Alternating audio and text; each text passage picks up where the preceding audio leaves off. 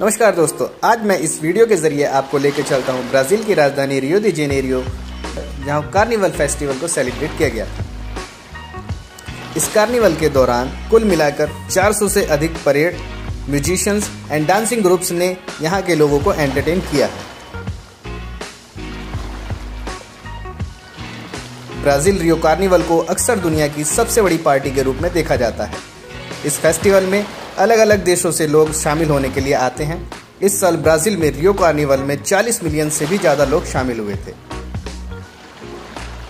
रियो carnival 18 century से ही मनाया जा रहा है, लेकिन कोरोना महामारी के कारण इस फेस्टिवल को सेलिब्रेट नहीं किया जा रहा था। ब्राज़ील रियो कार्निवल असल में शांति के दौरान से पहले का जश्न का आखिरी हिस्सा है। इसे क्रिश्चियंस लोगों ने लैंड का नाम दिया है।